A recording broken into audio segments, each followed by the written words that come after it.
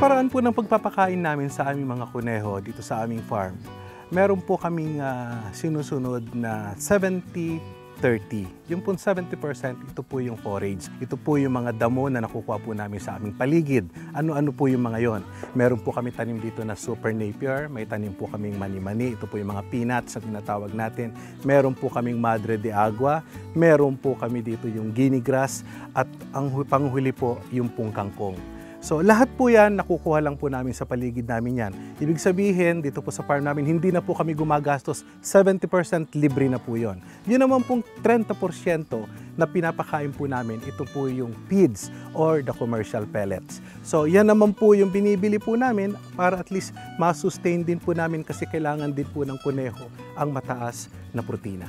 Kaya nagbibigay pa rin po kami ng pellets. Pero still, we see to it na dapat sana all grass na para mapababa po namin yung gastusin namin. Kasi ang kuneho po, mas gusto po nilang kumain ng damo kaysa ho kumain pa o ng commercial pellets. Unang pangalawa ho, ang gagawin po namin dyan, pagka nakita namin na mas productive sila pagdating sa pagkain po ng pellets, so yun talagang i-maintain po namin yan kasi naapektuhan din po kasi yung kanilang panganganak kung purely grass din po yung binibigay po namin. So kailangan, sabi ko nga, dapat yan mataas na protina din, dapat pumasok sa kanilang katawan. May mga kumpanya ho na gumagawa po ng rabbit pellet. Kasi po, ang, ang hinahabol po namin eh dapat eh, pagdating po sa formulation po ng feeds, sabi ko nga ho, kinakailangan mataas nga po yung protein na dapat na pumasok sa katawan po ng kuneho para mas maging produktibo po sila sa kanilang panganganak. At siyempre ho, sa kanilang paglaki din. Sa pagdating po sa presyo, halos pare-pareho lang naman po yan. So nagkakaiba lang po yan, depende na po sa manufacturer yan kung papaano po yung formulation na ginagamit po nila para masabi po na mas maganda po ang kanilang produkto. Pero sa akin ho, halos pare-pareho lang po yan. At sa tingin ko, wala hong pagkakaiba. Pwede ho silang mag-formulate ng sarili nilang feeds. O kung sabihin na natin, kung meron po silang ah, makinarya na pwedeng gamitin, no? tulad po ng kung meron silang magagamit na pelletizer, kung tawagin. So pwede na po silang mag-formulate, pwede na po silang bumili ng mga gamit po nila. Unang-una ho dyan, kung marami po silang damo sa kanilang paligid, pwede na po nilang gamitin yan. Especially ho, kung marami po silang tanim na super napier po na tinatawag namin, pwedeng pwede po yan. So yung ibang gagamitin po natin na sangkap nito, pwede ho natin bilhin commercially. Ito po yung mga regular na pakain na binibigay namin sa aming mga kuneho. Ito po yung tinatawag naming forage. Sa kanang bahagi ko po, ito po yung tinatawag naming super napier. At yung hawak ko naman po, ito po yung peanuts or yung mani-mani. At ito, naman po yung isa, ito po yung Madre de Agua. So binibigay po namin ang aming mga porridge in the afternoon. So lahat po ng kuneho po namin sa hapon, ito po ang kinakain. Morning naman po, ang talagang regular na binibigay namin, yun po yung commercial pellets na ibinigay ko po kanina. So ito po, lalagay lang namin po dito sa space na to. Ayan, lagay lang po natin dyan. So yan po ang pagkain na po nila. Ano na po ito? Ad libitum po ito. Hanggat maaari, puno ho yan. Kakainin po nila mula to oras na to hanggang hapon po yan o hanggang gabi. Pagkain na po nila yan. So ito po yung regular na pakain po namin pero may cycle po kami dyan. Every week po nagpapalit po kami ng pakain. Halimbawa po, itong week na to, ang pakain po namin, Super Napier. The following week naman po, ang pakain naman po namin is the mani-mani. So susunod na linggo naman po, ang ibibigay po namin ay Madre de Agua. So yung pong kuneho po namin, nasanay po sila na iba-iba po ang kinakain. Pero ibig sabihin po niyan, hindi naman po para gawing regular po yon. Kung wala po tayong makuna ng tulim, halimbawa po, wala po tayong tanim na ah, mani-mani, hindi naman ibig sabihin na maghanap tayo para at least meron tayong maibigay na pagkain. Pwede naman po, all throughout naman po yan, pwedeng mani-mani lang, pwede naman pong Madre de Agua, o pwede naman po siyang Super Napier lang. Meron po kaming mga kuneho na inilaan para gawing organic. Ibig sabihin ho, ang pinakakain lang po namin sa kanila, purely grass. Kasi ho, may mga customer po kami or mga kliyente po kami na naghahanap po ng organic lang po. Ito po yung mga tao na nakahiratian na po nila nagkumain ng organic ah, food.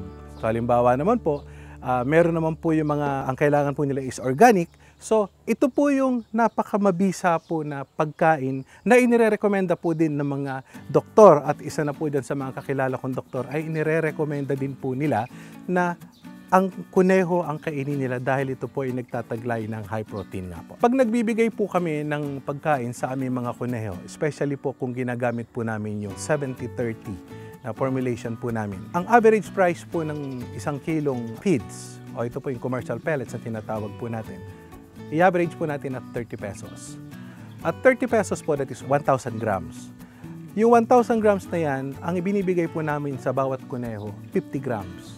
So, ibig sabihin po, pwede po nating ipakain si 1,000 grams sa 20 kuneho. Sa 20 kuneho po yan, magkano po ngayon kung kukwentahin po natin? Nagkakahalaga lang po ng 150 pesos. Ibig sabihin, 1 peso and 50 cents. So, napakamura lang po nun. So, pagka po yan ang ibinigay po natin araw-araw, within 6 months, magkano lang po ang magiging gastos po natin? Nag-average lang po tayo ng 270 pesos per kuneho na pinakakain po natin ng commercial pellets. Para po yon sa 70-30. Sige po, bigyan na ho natin ng costing yung damo na pinakakain natin sa kanila. Palagay ko ho, ang halaga lang po niyan sa araw-araw, pwede natin sabihin 50 centimos. Kasi kung bibili ho tayo ng damo sa labas, dahil meron din naman po nagbebenta po niyan, ang isang bundle po niyan ay nagkakahalaga lamang po ng 20 pesos isang bundle. Yan. Mga ang timbang po noon, umaabot po yun ng 50 to 60 kilos. Tulad na nasabi ko kanina, mas maganda ho kung magtanim ho muna tayo. Bago tayo magsimulang mag-alaga, kung meron din lang po tayong lugar na pwedeng pagtamnan, mas mainam po bago kayo magsimulang mag-alaga, magtanim ng magtanim muna po tayo ng mga damo na pwede nating ipakain sa ating mga kuneho. Kung ang formulation na gagamitin naman po natin is 100% feeds or commercial pellets po, Ibig sabihin lang po niyan, kung 50 grams sa umaga, 50 grams sa hapon, so that is 100 grams, tatlong piso po ang halaga po nun. For 180 times 3, that is 540 sa loob po yan ng 6 months. Pumunta naman po tayo ngayon sa tinatawag naming small scale. Ito po yung tinatawag ko sa farm ko na one module. Sasama ko na po dito 20 heads of does, 4 heads of bucks, 12 units of cage, 20 pieces auto feeder, water feeder, 24 pieces clay pot, ito po yung kainan po nila, 10 bags of cement, 30 pieces coco lumber lang po ang gamitin po natin, 24 pieces GI sheet, ito po yung yero na gagamitin po natin, at ang labor cost po natin. Pag sinuma total po natin ito, aabot po tayo ng 50 mil. Ibig sabihin po, yung 50 mil na investment po natin, sa tingin ko sa loob ng isang taon, kaya po nating ibalik ang puhunan natin. Pagdating naman po sa breeder selection, uh, dalawang klase po ang meron po sa aming farm. Ito po yung tinatawag naming fancy, ito po yung mga purely for pets lang. Ang pangalawa naman po, ito po yung meat type na tinatawag namin. Ito naman inaalagaan natin para mag-produce po tayo ng karne. Sa fancy ho, pagka, pagka sinabi nating fancy, medyo may kamahalan po yan. So mahihirapan po tayo magbenta. Kaya nga sabi ko, pag may namamasyal sa farm, may naghahanap sa akin, incidental ko lang yan. Pagka may naghanap kayo ng fancy sa akin, meron ako ibebenta sa inyo. Pero ang presyo ko kakaiba sa presyo ng mga meat type natin. Okay, pagdating sa meat type po namin, sari-saring lahi po yan. Marami po kayong pagpipilian, marami kayong option kung saan nyo gustong simulan. Meron po tayong New Zealand, meron po tayong California White, meron po tayong Palomino, meron po tayong tinatawag na uh, New Zealand Black pa rin, at meron po tayong Chinchilla. Narito po tayo ngayon sa aming rabbitry area. Mula po dito sa kanan ko, Uh, lahat po yan, mga breeders po namin. So mula kanan, pakaliwa po, dire-diretso po dito. Lahat po yan, ra, uh, breeder po namin, mga breeder doe. So ang tawag po namin dyan, per module po yan. So iba't ibang breed po ang makikita po ninyo dyan. So mula sa dulo hanggang dito, um, uh, ang total uh, head count po ng aming breeder is 350 uh, breeder does. Ang aming pong uh, uh, breeder buck is around 50 heads. So sa ngayon po, ang total population po namin is around 1,400 More or less po yan. So, ibig sabihin po, hindi pa ako kasama dito yung mga bagong panganak po namin. Sa pagpili ng lahi ng ating gagawing inahin o gagawing breeder, kinakailangan i-consider po natin yung karakteristik ng bawat lahi ng kuneho. Kinakailangan po alamin natin, halimbawa napili natin is New Zealand, kinakailangan alamin po natin kung ito ay magbibigay po sa atin ng magandang panganak. Titingnan din po natin kung sa tingin natin ay makakapagbigay siya ng maraming anak at bubuhayin ba niya ang kanyang mga anak. Kasi ho, pag hindi natin i-consider ito, makikita natin na pakain tayo ng pakain, dadagdag sa gastusin natin at pagdating ng panahon na pwede na siyang mag-produce at makikita natin mga anak lang siya, isa, dalawa, lugi na po tayo. So kinakailangan ho, piliin natin ng maayos, suriin po natin ng maayos kung sa tingin natin ito ay magiging maganda ang kanyang lahi. Isama na rin po natin dito sa pagpili po ng ating gagawing inahin, tingnan po natin yung kanyang body weight. Na, napakalaking bagay po nito kasi ho, kung ito po ay hindi masyadong malaki o maliit lamang po ang kanyang lahi, kung yung inaasam po natin na timbang po ng bawat kuneho na gagawin nating karne at hindi natin nakuha yung tamang timbang po nito, lugi pa rin po tayo sa ating uh, pag-aalaga. Sa pagsisimula ng inyong pagkukuneho, pinakamainam na magsimula ka sa dalawang pares. 12 pares or higit pa. Iwasan nating kumuha ng trayo. Bakit? Pagka trayo, malaki ang tendency na magkakaroon tayo ng inbreeding. Samantalang pagka dalawang pares kaagad, ibig sabihin naka-line breeding tayo. Ibig sabihin, mas maganda ang pagpapaanak ng inyong mga kuneho. Pagka maramihan na po ang pag-aalaga natin, siyempre habang mas marami ang ating inahin, dapat tapatan din natin 1 is to 5 mas maganda. Ang inbreeding ho kasi, pag ang alaga mong kuneho, parehong ama ang ginamit mo dun sa mga anak, lumalabas po dito mga abnormalities. So, maraming magiging problema hindi hindi maganda ang iyong paanak, hindi ka makakapag-produce na magandang lahi. Samantalang kung naka-line breeding ka, siguradong makakapag-produce ka ng magandang mga kits. Unang-una, higit na mas malulusog at ma-attain natin yung inaasam-asam natin na produksyon para lumaki at dumami ang ating alagang kuneho. Paliwanag ko lang po yung pagdating sa line breeding saka sa inbreeding po. Ang line breeding po kasi ang kagandahan po nito, halimbawa po dalawang pares ang ating pinagsimulang kuneho. Pagka nanganak po yung kanilang mga kaparehong kuneho, ibig sabihin yung mga inahing kuneho, pag nanganak, pagkapanganak po niyan, pwede na ho nating i-cross.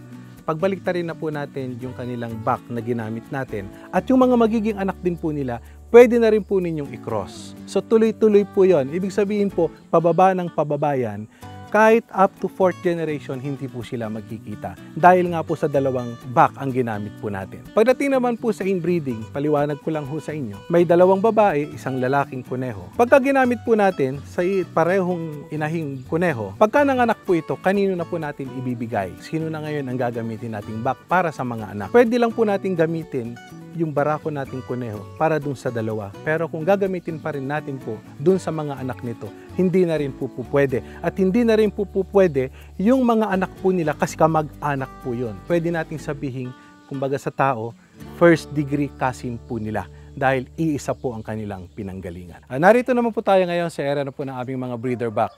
Uh, meron po kaming uh, 50 heads of breeder uh, breeder back. Uh, bakit ho, tanong niyo siguro, bakit napakarami? Uh, yun nga po, we have uh, 350 uh, active or productive uh, breeder doe. So kinakailangan po naming magkaroon ng ganito karaming breeder back. Nang sa ganun po, maiwasan po namin yung tinatawag naming inbreeding. At least so, naka 5 is to 1 po kami. Ibig sabihin mo yan, kahit nakaka-apat hanggang limang cycle na po kami, hindi ho magtatagpo yung possible na breeder na ginamit po namin sa isang breeder doe. Sa pagsisimula po ng ating uh, pag-aalaga ng kuneho, marami po tayong mga dapat uh, ihanda. Unang-una po, itong kanilang kulungan. Malinis na kulungan, tahimik na lugar. Dito po sa farm namin, meron po kaming tatlong disenyo o tatlong klase, tatlong uri ng kulungan na aming ginagamit.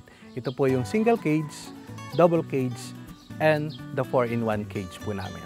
Una ho, paliwanag ko lang po yung aming single cage. Ginagamit po namin ito pag ang kuneho po ay tumungtong sa edad tatlong buwan, papuntang apat na buwan, pinaghihiwa-hiwalay na po namin ang aming mga kuneho. Bakit ho? Sapagkat to, pag abot po ng apat na buwan, pag hindi nyo pinaghiwa-hiwalay po yung mga yan, mag-aaway-away na ho yung mga yan. So, ibig sabihin, pwede na po niyang ibuli yung kanyang mga kasama. Ang advantage po nito pag ito po ang ginamit natin as a transport cage, maliban po sa meron po siyang bitbitan, napaka-handy po niya, at hindi po messy kasi meron po siyang tray na pwede natin gamitin. Ngayon naman po, pagdating naman po sa pagkain, ang lagayan po ng if you're using the commercial feeds, hindi naman natin kailangan buksan sa ibabaw, sa ilalim na lang po natin papapasukin. At kung kailangan naman po pakainin ng porridge, kukuha lang po tayo ng damo, hindi naman natin kailangan buksan sa loob. Kasi pag nilagay po natin sa loob, maapakan po nila. Yun naman pong double cage po namin, dinesign po namin yan para naman po dun sa mga katulad ko din po na nagtitipid sa kulungan na pwede naming ipakita sa inyo yung mga disenyo po namin kung papaano namin siya ginagamit. Kasi ho, habang maliliit pa ho ang kuneho, pagkawalay po sa kanilang inahin, pwede nyo munang pagsamasamahin dalawa hanggang tatlong kuneho sa isang cage. Ibig sabihin ho, sa double cage po namin, bukod sa mas mura na ho siya, anim na kuneho na po kaagad ang may kakarga po ninyo. Ito po yung aming grow out cage. Kung napapansin po ninyo, naka-single, single-single na po siya. Kasi nga po, ang rabbit is territorial. Pagdating po ng tatlong buwan hanggang apat na buwan, kinakailangan ihiwalay na po natin si rabbit. So same thing din po, ipapasok din po natin yung kainan po nila, padadaanin pa rin po natin sa ilalim. Kung ipapasok po natin yung kuneho, sa ibabaw pa rin. At yung pagkain nila, dito pa rin natin ilalagay sa harapan. Itong double cage na to, ginagamit po namin for our grow out. So, mas maliit ang espasyo po nito. Kung makikita po ninyo, ang size lang po nito is 24 by 24 by 18. Nandito po tayo ngayon sa aking uh, grow out area. Uh, total area nito is uh, 25 square meter. This is 25 by 5 square meter. Total of 25 square meter. Uh, kung mapapansin ninyo, yung pinakikita ko kanina, yung aming double cage, dito po namin siya ginagamit. So kung mapapansin po ninyo, napakaliit lang po nung area pero still, uh, yung capacity po niya, uh, hindi kayo siguro maniniwala. Total capacity po ngayon nito is at 256 heads of rabbits. Paano po nangyari yon? Pakikita po ninyo, four layers po yan. Ibig sabihin po, sa isang, sa isang linya po nito, walong cage po ang ka ang capacity. So 8888 that is 32 cages multiplied by 2 kasama po yung kabila 64. Ilan po ang capacity? That is 128 uh, halls. So ilan po ang capacity noon? So 128 rabbits. Normally po pagka grow out na po namin, tulad po nito, mapapansin po ninyo, dalawa po yung laman. Dalawa po yung laman. Ayan. Dalawa po yung laman. So times 2 po natin, that is 256 rabbits. Kung makikita po ninyo, 2, 5 by 5 square meter, 25 square meter at 256 rabbits. So ganun lang po yung kailangan nating space. Hindi natin kailangan yung sobrang laki space para magkaroon tayo ng maluwag na kulungan. Uh, dito naman po sa area na to, mapapansin po ninyo, ito po yung aming mga uh, extension po ng aming mga grow out. Kung mapapansin po ninyo, mula dun sa dulo hanggang dito, uh, makipapansin ninyo na bakit po kawa, punong kawayan ang ginamit po namin. Ipinakikita lang po namin na ang punong kawayan ay pwede ho natin gamitin at isaw ito sa pinakamura pinakamurang materyales na pwede po namin gamitin. So, kanina nakita po ninyo yung pinaka main house po namin made of uh, uh, GI sheet or sementado po siya. Dito naman po, mula po dun, mula sa dulo, diretso hanggang doon, mapapansin po ninyo, lupa na po yan. So, dito ho, uh, yung budget po natin na kung sakali man na medyo alanganin po, sa puno ng kawayan, mabibili lang po natin yan sa murang halaga. Yung po naman pangatlo po namin, ito po tinatawag po namin na breeder back cage. Lahat po ng kinakarga po namin dito, lahat po ng lalaki. Pagka kinakailangan po namin magmate, bubuhatin lang po namin si babae, lilipat lang po namin siya rito, siya po ang ilalagay namin dito. Okay. So ready to mate na po siya. Yan po makikita po natin. Okay. Ganon din po 'yon. Same system po 'yon. Yung pagka yung kainan po nila sa ilalim pa rin po siya. Okay. Yung damo, as you can see, dito pa rin po siya sa ibabaw. Ayan. First mate na po kaagad. Segundo lang po ang bibilangin. After po na makapag-mate po yan, at least minimum of 3, pwede na po natin siyang tanggalin. Sa loob lamang po na limang minuto, nakakalima hanggang anim na beses na po siya. Pagdating naman po dito sa 4-in-1 na tinatawag namin, ito naman po ay ginagamit po namin sa aming mga breeders o ito po ay ginagamit namin sa mga aming mga inahing kuneho. Bakit ko po tinawag na 4-in-1? Unang-una ho, ang rabbit po namin, kinakailangan po ng malaki-laking espasyo Okay, bago po mga anak yan, kinukondisyon po namin yan. Bago namin ipalahi po yan o ibigay sa aming mga barakong kuneho, tinitingnan namin kung okay na siya dun sa lugar niya. Una-una po, tandaan po natin, ang kuneho po ay territorial.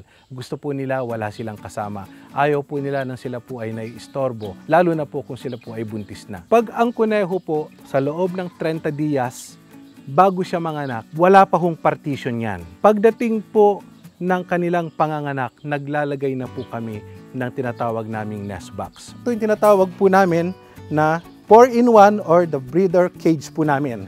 After po na ma-mate ito, kukunin po namin ulit si babae.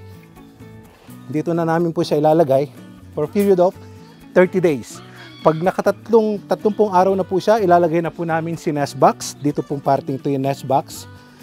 At uh, hihintayin po natin siyang manganak. Pagdating po ng kanilang panganganak, kinakailangan na pong tanggalin ang nest box. Instead na iwalay po namin ang kanilang mga anak, nilalagyan lang po namin ng partition yung aming cage.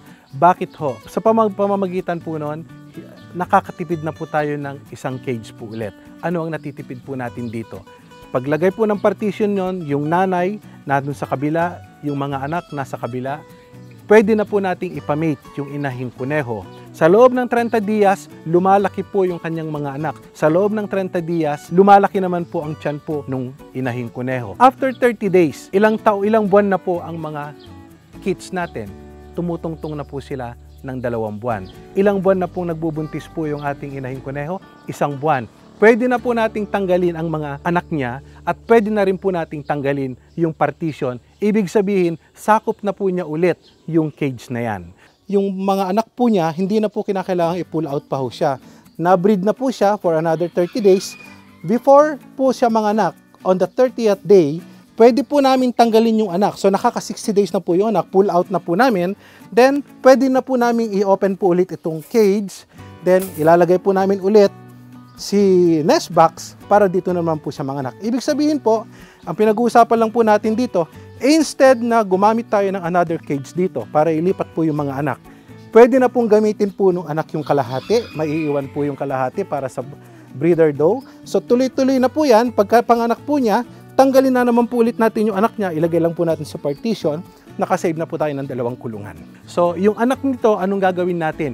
Pwede na ho nating ilipat sa single cage, pwede na nating ilipat sa double cage, or pwede na ho natin silang ibenta. Malinis na tubig, napaka-importante po ng tubig. Bakit po? Huwag na nating mapakain si Kuneo sa loob ng isang araw. Ang tubig po ang napakahalaga. Maghapon lang na mawalan ng tubig po, napakalaking bagay po sa isang kuneho na hindi po siya makainom sapagkat siya po ay manghihina. So kinakailangan po, importante sa lahat, tubig, malinis na tubig. Kung, po, kung hahanap po tayo ng pagtataniman ng mga forage po natin o sabihin na natin mga pagtatamnan po ng ating mga halaman na pwedeng ipakain po sa ating mga kuneho. Kung meron po tayong at least 200 square meter para po sa mga medyo may malalaking lugar po. Sapat na po yun upang makapag-produce po tayo tulad ng mga nabanggit kong halaman na pwedeng ipakain sa ating mga kuneho. Pero po, lagi po nating isipin, habang dumadami po ang ating kuneho, syempre ho, nagre-require po yan ng mas malawak na taniman upang masustain po natin yung mga halaman na pwede nating ipakain sa ating mga kuneho. Kapag nakapagsimula na po tayo sa ating pagkukuneho, lagi po nating isipin kung gaano po tayo kalinis sa ating sarili, dapat ganun po din po sa pag-aalaga ng ating kuneho. Bakit ko po nasabi yon? Kasi ho, pagka pinabayaan po nating madumi ang ating mga kulungan, ang ating alagaan ng ating mga kuneho, sari-saring sakit o diseases din po ang pwedeng mapunta po sa kanila. Kaya kinakailangan po malinis po palagi. So ano nang dapat nating gawin? Siguro ho, pagka ho tayo ay naglilinis ng ating mga kulungan, gumamit po tayo siguro ng malinis na bagay na pwede nating panlinis tulad po ng tingting walis. O kaya naman po kung gusto nating matanggal po lahat ng mga balahibo, pwede po tayong gumamit ng yung blowtorch na tinatawag po natin para sunugin po natin yung mga balahibo na naiiwan po sa mga cages. Bakit ho? Diyan po kasi nagsisimula yung sakit na mange. Pagka nakikita ho natin na laging madumi po ang ating mga kulungan, diyan po nakukuha ng ating mga kuneho. Kapag nagsimula pong magkaroon ng ating mga kuneho, napakahirap po nating tanggalin yan. So may mga pamamaraan naman po kung paano natin sila may eliminate. Sa farm po namin, meron pa rin kaming isang pamamaraan, especially kung paano natin may eliminate yung amoy o yung naaamoy natin sa ating paligid, yung panghi, yung amoy po ng kanilang mga poops kung tawagin. Ah, gumagamit po kami ng Burmy. Ito po yung African Night, Nightcrawler o yung tinatawag nilang ANC. Ito po ay nilalagay po namin sa kulungan ng aming mga kuneho. So, lahat po ng mga poops nila o yung droppings po nila, naiipon po yan sa ilalim.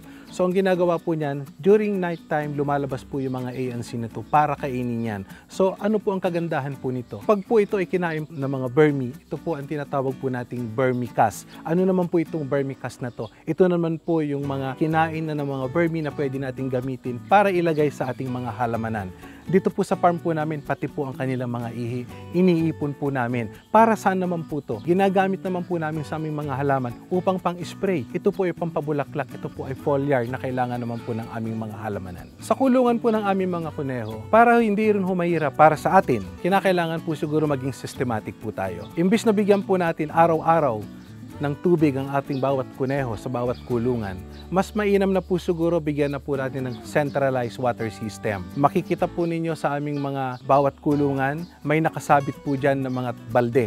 Ito po ngayon ang tinatawag namin na centralized water system. Unang-una ho, iwas po sa pagdumi ng tubig at mas mapapadali pa po ang pagpapainom natin. At unang-una ho, mas madali po ang monitoring kasi isa na lang po ang tinitignan natin. Pagka naubos na po ang laman ng container, pwede na po nating kargahan po ulit.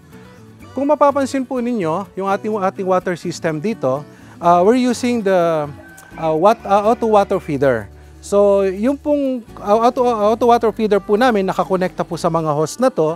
Mula po dun sa pinakatangke po namin, babagsak po yung tubig. So, centralized po yan, pababa, pabalik po dun sa dulo. Kung mapapansin po ninyo, out of 128 kgs po na yan, meron po kaming apat na tangke lang para po mabigyan po sila ng sapat na tubig sa maghapon. Ibig sabihin po, 12 hours po yung uh, tubig na tumatakbo rito. So within the day, nakakadalawang kargahan po kami or nakakadalawang uh, palitan po kami ng tangke para naman po tuloy-tuloy po yung supply ng tubig na kanilang maiinom.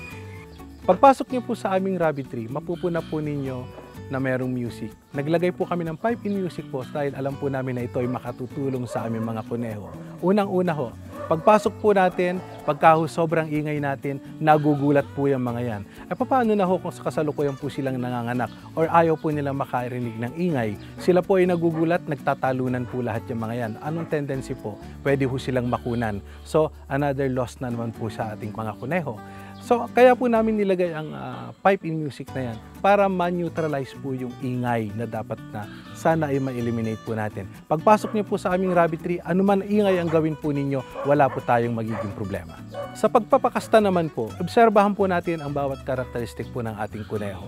Sa unang bigayan pa lamang po, malalaman po ninyo kung gusto na po niya o ayaw pa niya magpakasta. Ang rabbit po na tulad na nasabi ko is territorial. Ang dadalhin po natin sa kulungan ay si female doe siya po ang ililipat natin sa kulungan ng ating back. Bakit po? Pagpasok na pagpasok po niyan, ang gagawin at gagawin po kasi ng ating back, isasampa ka agad. Samantalang pagka ang back ang nilagay po natin sa kulungan ng female doe, wala pong gagawin yan kundi mag-marking. Tulad na nasabi ko po, ang kuneho po ay territorial. So kinakailangan po, buhatin natin si female doe, ilipat po natin sa female back. Kapag si lalaki ang itinawid natin sa kulungan ng babae, walang gagawin po ang ating uh, back kundi mag-marking. Kasi ang sabi ko nga ho, territorial po ang kuneho. So wala pong gagawin yan, hindi po niya sasampahan yan. Or it's either dalawang bagay po yan. Kung sa tingin natin at nakikita niya na ready na po ang kunehong babae, sasampahan po niya yan. Pero kadalasan po yan, maghahabulan po sila at maghahabulan. So pagdating po sa babae, pag siya ang nilipat natin sa kulungan ng lalaki, uupo lang ho yan kasi hindi niya po teritoryo yun. So anong gagawin ni lalaki? Siya na mismo ang kusang lalapit sa babae kasi alam niyang teritoryo niya yon. Kahit sinong ilagay mo sa loob, sigurado yan sasampahan niya or kakastahan niya. Sa paghahanda naman po ng pagpapaanak natin ng ating mga kuneho, meron din po tayo mga dapat tandaan. Unang-una ho, sa loob ng 30 days po yan, aasahan po natin, manganganak na po yan. So pagdating po ng 25 days, dapat po nakahanda na po ang kanilang nest box. Ilalagay na po natin si nest box sa kanilang kulungan upang makapaghanda din po si inahing kuneho para may handa niya yung kanyang aanakan. Huwag po kayong maglalagay ng kahit ano. Kinakailangan po siya mismo ang mag-aayos ng kanyang paanakan. Huwag po kayong maglalagay ng kahit anumang uri ng dahon o anumang klase mang pwede natin sabihin na pag nilagay natin sa loob yan, hindi po yan siya manganganak. Manganganak po yan sa labas. Sa panganganak po ng isang kuneho, hindi natin sila pwedeng pakialaman dahil sila po ay may sariling pamamaraan para ihanda ang kanilang anakan. So, iwasan nating maglagay ng kahit anumang bagay sa loob ng kanilang nest box. Kung gusto po ninyo maglagay, sa labas lamang. Hintayin po natin kung sila po ang maglalagay o maghahakot niyan. Ang ginagawa po niyan pagdating po ng 25 days, magsisimula na pong magbunot ng kanilang balahibo o yung fur sa tapat ng kanilang dibdib. Ay, bakit po nila binubunutan yan? Yan po ay paghahanda din po para mailabas po nila ang kanilang mga dedo or nipple na tinatawag. Para at least pag nanganak po sila, nakahanda na rin po yung mga anak po nila para hindi na rin po mahirapan kung saan sila dapat dumede o maghanap ng kanilang gagatasan. Lahat po ng binunot niyang balahibo, siya po ang ginagamit niyang anakan o sabihin na natin na nilalagay niya sa loob ng nest box at yun po ang kanyang gagamitin sa kanyang panganganak.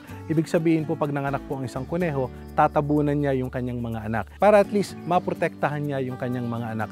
Baka sakaling meron mang predators na pwedeng lumapit sa kanila, at least madali po niyang i-cover. Meron din pong ibang kuneho na hindi po nagbubunot ng kanilang mga balahibo. Ibig sabihin, nangu- nauuna po yung kanilang panganganak at saka pa lang po sila magbubunot ng kanilang balahibo or fur.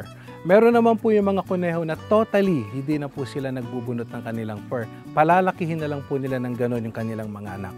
Ibig sabihin po, ang kuneho po may sarili pong pakiramdam yung sa heating body ho nila kung kailangan pang magbunot sila or hindi na dapat magbunot para sa kanilang mga anak ng kanilang mga balahibo. Sa panganganak po ng kuneho, hindi ho natin kinakailangan bantayan.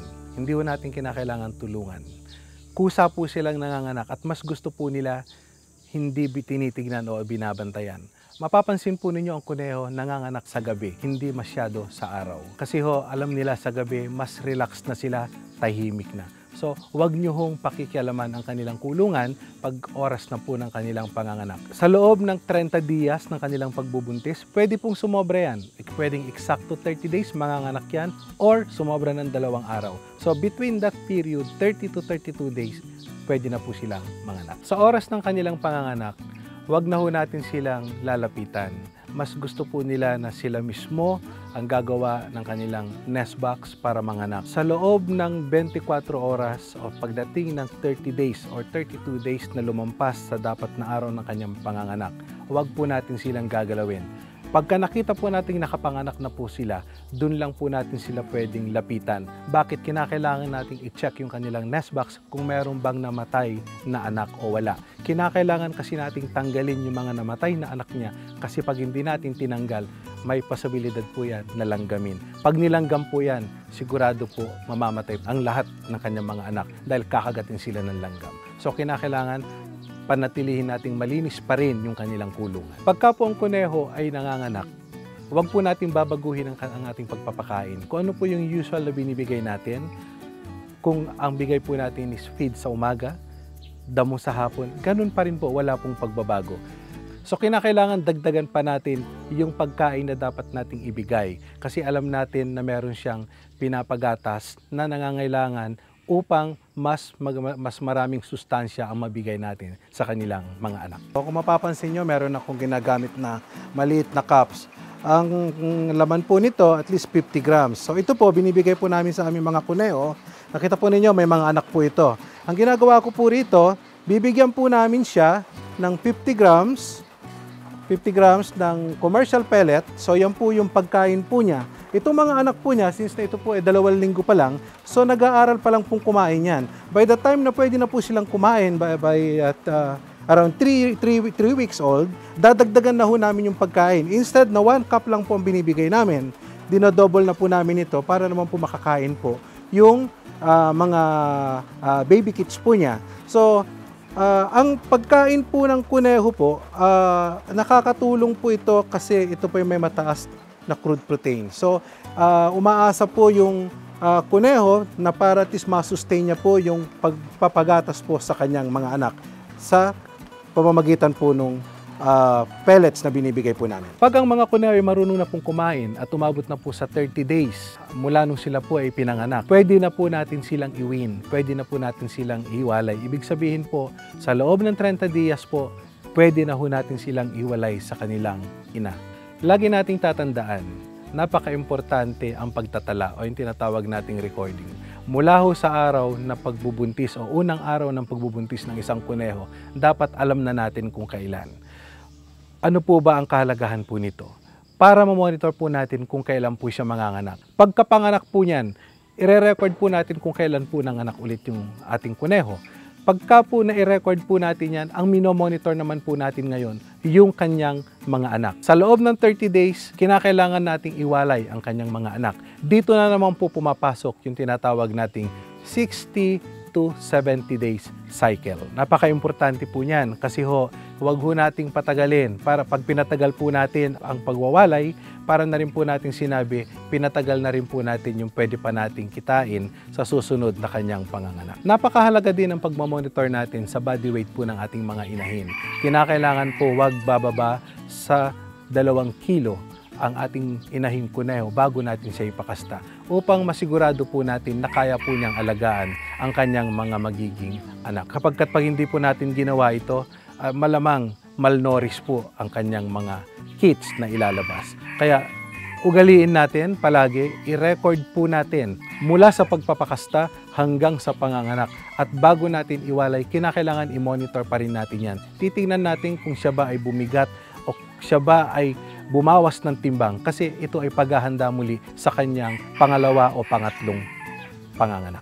Pagka, pagkawalay po ng kanyang mga anak, siguraduhin po natin, alam natin kung kailan niya pinanganak sapagkat kinakailangan malaman ng ating mga buyers kung kailan ang kanilang DOB sapagkat doon din sila magsisimula sa kanilang recording. Doon din nila malalaman kung kailan nila dapat pakastahan ang kanilang mga kuneho. Kinakailangan sa loob ng limat kalahating buwan hanggat anim na buwan, din din sila magsisimulang magpakasta or magpamate sa kanilang mga inahing kuneho. May mga uri ng rabbit depende sa gamit o purpose. Nandyan po yung uh, for pet, for laboratories, for meat production, or for breeders. Balikan po natin yung meat production natin. Pagdating po sa meat production, ano po yung mga kuneho na pwede natin gamitin? Ito po yung New Zealand, ito po yung California White, ito po yung Chinchilla. Bakit ito kung kinakailangan natin gamitin for meat production? Dahil ito po yung nagtataglay ng mga malalaking katawan. Ibig sabihin, dito po tayo makakakuha ng magagandang karne.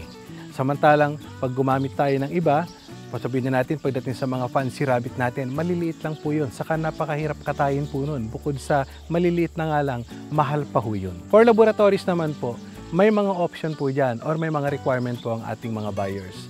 Normally po ang hinahanap po sa amin, ito po yung mga REW or kung tawagin namin, red-eyed white. So, ito po yung kailangan sa mga laboratories para magamit po sa kanilang mga research. So, meron naman po yung iba na hindi maselan. Pwede po sa kanila, especially for sa mga gumagawa po ng thesis, okay lang po sa kanila kahit may mga colored rabbits po natin. May mga uh, nire-require din po sila, pwedeng, pwedeng babae, pwedeng lalaki. Yung iba, gusto nila puro lalaki. Yung iba naman gusto nila puro babae. Pero most of the time, ang talagang kailangan-kailangan nila, especially laboratories, is the REW. Benefits of rabbit meat, pag kinumpara po natin ito sa ibang klase ng karne, tulad po ng manok, baboy, at baka. Pagdating po sa rabbit meat, napakababa po ng kolesterol po niyan, napakababa po ng calories, napakababa po ng fats niyan, napakataas po ng protein. Pag kinumpara po natin ito katulad sa baboy, sa baka, manok tulad na nasabi ko, sigurado po pagka tayo ay nagumpisang kumain o sinimulan nating kainin ang rabbit, hindi na po tayo babalik sa ibang klase ng karne. Pwede ko siya nasabing kalimutan na natin po yon, pero hanggat maaari, mas maganda ho kung rabbit meat na po ang kainin po natin. Sa katunayan po, ang rabbit po ay isang organic meat. Ba't ko po nasabi ho yun? Sapagkat ang kuneho po, kahit hindi natin pakainin ng commercial feeds, ay mabubuhay po sila kahit damo po lamang ang kanilang pagkain. Kaya kinoconsider po namin ang kuneho po ay isang organic sapagkat ang kinakain lang po talaga nila ay pwedeng damo or forage po na kung ano po makukuha natin sa ating paligid. Pangalawa ho, ito po ay nire-recommenda po ng mga doktor para po sa mga cancer patient po, para ito na lang po ang kanilang kainin kasi naman po sa kumain sila ng ibang klaseng karne sapagkat dito po makakakuha sila ng mas mataas na protein para at least mas manatili po silang malakas. Sa pagkatay po ng kuneho, makaka-recover po tayo or yung tinatawag nating carcass ratio po, 55 to 65%. Ito po yung pwede nating makuha pagka po ito ay nakatay na. Ibig sabihin po, yung laki po ng karne na pwede nating ma-recover sa isang live rabbit po, makikita po natin na malaki din po ang porsyento nito para ito at least meron tayong malaking pakinabang. Sa ngayon po, ang presyo po ng ating uh, rabbit meat sa merkado ay medyo mataas. Pero para sa amin po na mga meat producer na po sa ngayon, umaasa po kami na yan po ay bababa. Pag kinumpara po natin yan sa karni ng manok, kinumpara natin sa karni ng baka, karni ho ng baboy, lubang mas mataas pa rin po ang karni ng rabbit. Pero kahit po mas mataas po ang presyo po niyan, sa benepisyo na lang na makukuha po natin, mas nanaisin pa po nating mag-ulam na lang ng karni ng kuneho. Sapagkat sa ating mga Pilipino, alam naman natin na hindi pa rin popular ang karni ng kuneho, parang ito ay ating kainin. Sa ngayon po ang karni ng kuneho, binebenta po namin yan ng buuan. Hindi pa rin po tayo makatulad ng manok na nabibili po natin sa supermarket o sa palengke, choice cut. Pero po sa kuneho, buuan pa rin po ang ating pagbebenta. Kasi unang-una, hindi pa rin ganun kalaki ang produksyon natin para gawin nating sabihin na natin na maghahanap tayo ng puro legs or puro breast or puro thigh part. So buuan po muna. So ginagawa namin sa packaging namin, isang buong rabbit, binebenta po namin yan. Uh, kung ano po ang kalalabasan ng timbang, yun na po ang pinepresyohan po namin. Sa ngayon, pinag-aaralan namin kung ano pa ang mga pwede nating gawin sa karni ng kuneho. Pwede siguro natin gawing tusino, tapa, o ang iba't ibang klase ng lutong ulam na pwede natin ihain sa ating pamilya o pwede nating ituro sa mga gustong matuto kung paano nila lulutuin ang karni ng kuneho. Isipin natin na ang rabbit meat ay pwede nating pagkakitaan.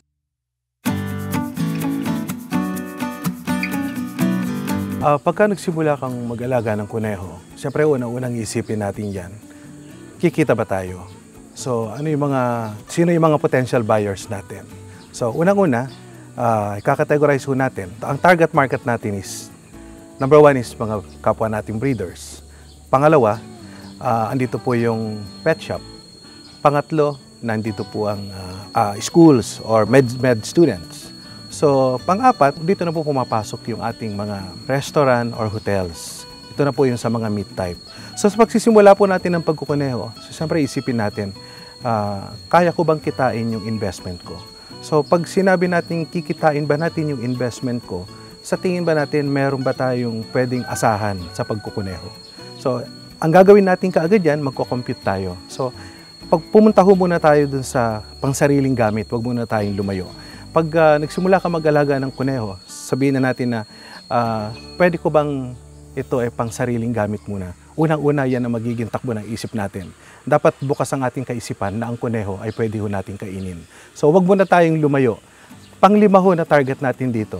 Ito po yung ating mga kapitbahay. Sila yung una nating kumbinsihin kung paano kainin ang kuneho, paano nila aalagaan ang kuneho. So from there, pwede natin sabihin sa kanila na uh, pwede kayo magsimula ng konti hanggang sa lumaki ng lumaki. Lagi nating iisipin po na pagka kayo ay nagsimula, huwag mo na nating isipin kaagad na lumayo kaagad dun sa potential buyers po natin. Ang iisipin po natin para po tayo ay lumaki. Dahil sa totoo lang po, napakaliit pa nga ho ng grupo ho natin para masustain po natin yung mga possible uh, target market po natin. Para sa mga katulad ko na kapwa ko magrarabit na gustong magpalaki, ng uh, sabihin na natin numero po ng kanilang mga inahing kuneho, mag-concentrate po muna tayo dun sa meron tayo. Ngayon po, para hindi masyadong lumaki ang investment po ninyo, ibig sabihin yung bili ng bili. Kung ano po yung meron tayo, pagyamanin po muna natin yun. Pag-aralan po natin mabuti. Pero kung sa tingin po natin ay kinakailangan na po natin dagdagan, dito na po tayo lumapit sa kapwa natin magkukuneho sila po yung susunod natin na lapitan dahil sa kanila po tayo mamimili ng magandang lahi. So kinakailangan po magandang lahi o quality breeders ang kailanganin po natin para makapag-produce pa rin po tayo ng magandang kuneho na siya rin pong ibebenta po natin sa kapwa natin magkukuneho. Kasi sabi ko nga, huwag muna tayong lumayo, kinakailangan nating dumami. Yung pong ibang target markets po natin, saka na po natin isipin yan. Unang-una, breeders. Pangalawa, individual na kumbaga sabihin na natin personal consumption po muna. Dito po sa farm namin, since na ang kategorya ko na po ngayon lampas na po ako sa backyard, lampas na rin po ako sa uh, tinatawag nating uh, small scale, papunta na po ako ng medium scale. So ang target ko po ngayon is mga kapwa ko breeders. Sa ngayon po, ang nakikater ko pa lang is kapwa ko breeders. Bakit po? Unang-una, sa pagpaparami po namin ng kuneho, tinitingnan ko dito kung sustainable pa rin ba para sa akin na pwede ko silang bigyan or makakakuha ba sila sa akin ng magaganda or quality breeders na pwede nilang gamitin din sa pag-uumpisa. Pangalawa ho, pagka nakakapagbigay ako sa kanila ng ah, kuneho na alam ko na magiging ma- maayos ang kanilang paglaki, makikita dito na ah, ito pala ay merong potensyal na ma- pwede kang kumita ng hindi mo inaasahan na mapapalaki mo siya. Unang-una, tulad ng mga nabanggit ko, ah, lahat ito ay pwedeng pagkakitaan. So, kung lalawakan pa ho natin yung ating target market po, ito po yung supermarket. Pagdating naman po sa supermarket po, kung atin po ikukumpara pag napunta ho tayo sa mga sa Europe, European countries po or sa Western countries po. At wag na ho tayong luma- lumayo dito na lang po sa kalapit na bansa ho natin like China, Vietnam, Thailand. Ang kuneho po ibinebenta po sa mga supermarket, parang manok din po yan. Ah, kung meron po tayong dressed chicken, meron na rin po tayong ah, rabbit dressed rabbit ah, ang mabibili po natin sa merkado po. So, kung titignan po natin, kung ibabase na lang po natin, wag na po tayong lumayo. Dito po sa atin sa Pilipinas, kung magtutuloy-tuloy po ang ating pag-aalaga at makikita natin, maipapaliwanag natin sa ating mga kapwa Pilipino na ano po ba ang nabe-benefit natin pag tayo po ay nag-alaga ng kuneho? Hindi lang po basta pagkain ito, kundi pwede ho natin pagkakitaan para sa ating pang-araw-araw. Natuklasan ko lang po sa mga doktor na aking nakakausap na ang kuneho po pala ay magandang ibigay sa mga cancer patient po. Ito po ngayon ay nire-recommenda po nila kung ano man po yung klase po ng sakit po nila dahil nga po daw sa ito ay may mataas na protein na pwedeng makuha po sa sa karni ng kuneho. Ah, ikinumpara po nila ito sa mga sa karni po ng manok, karni po ng baka, karni po ng baboy. Pagka tinignan po natin dito, yung ah, nutritional facts na makikita po natin pag halimbawa nag ah, tinignan po natin sa internet through Google po siguro, makikita po natin yan yung pagkakaiba. So lahat po yan ah, mismong mga doktor na ang nagsasabi, pwede nating ibigay sa ating mga pasyente. Kahit po siguro hindi ho cancer patient po yan, kahit po siguro ordinaryong sakit lang na kinakailangan po magpalakas, pwede natin po siyang ihain po para maging pagkain po nila sa pang-araw-araw po. Papasok ko na po dito po yung sa restaurant or sa mga hotels. Sa totoo lang po, gustong-gusto naming simulan. Kaya lang po, hindi kami makapagsimula. Bakit? Kulang na kulang po tayo sa produksyon. Sa farm ko po, we are producing 300 heads of rabbits every month. Pero still, hindi ko masabing kaya na po namin mag-produce ng karne ng rabbit po. Unang-una, sabi ko nga, ah, rabbit breeders pa lang, kapos na po kami. Pet shop, hindi pa namin masimulan. Papasok ko tayo sa merkado po ng ah, pagkakarni po ng kuneho. Hindi po namin kayang umpisahan. Kwento ko lang po sa inyo. Tatlong restaurant na po ang lumalapit sa akin. Ang requirement po nila is 25 heads a week. Kwentahin po natin, 25 heads a week sa isang restaurant pa lang. Sa loob ng isang buwan, apat na linggo, 100 heads. 100 heads, ididak na po namin sa production po namin 300 heads na alagaan po namin ng apat na buwan. Sa tingin po ninyo, sa susunod na buwan, pag na-deliver namin yung 100 heads, sa tingin nyo meron pa kaming i-deliver sa susunod na buwan. Tatlong restaurant po yon. So we have to produce at least 300 rabbits para po maisupply po namin buwan-buwan. Baka ho, pati ho, breeders po namin, makatay namin just to sustain yung requirement po nila. So sa ngayon po, mahirap po naming pasukin yan. Marami na pong naghahanap. Gusto na po nilang magsimula, pero kami po ang humihindi. Kasi alam namin, wala pa ho kaming kakayahan para simulan po ang pagbibigay ng karne sa kanila. So, hindi ko kinakailangan magmadali. Sa babalikan ko po ulit, balikan po natin yung mga kapwa naming breeders. Magparami, magparami po tayo nang sa ganun po, masimulan po natin ang pagkakarni. Ang merkado po natin pagdating sa restaurant and hotels, nandyan lang po yan, nag-aantay lang po sila. Pag sinimulan po natin yan, dapat tuloy-tuloy. Kaya kailangan no, tulong-tulong po tayo. Bago lang po itong industriya po na, ng pagkukuneho, kaya kinakailangan po, wag po tayong magkamali para at least po masustain po natin kung ano man po yung requirement po ng merkado, dapat po tuloy-tuloy po yan. Hindi natin pwedeng putulin. Once na naputol po yan, tayo din po ang mawawalan ng merkado kasi ho, hindi natin pinangalagaan. Doon sa ating mga pwedeng supplyan is mga pet shop. Sa totoo lang ho, napakalaking merkado po ang pet shop.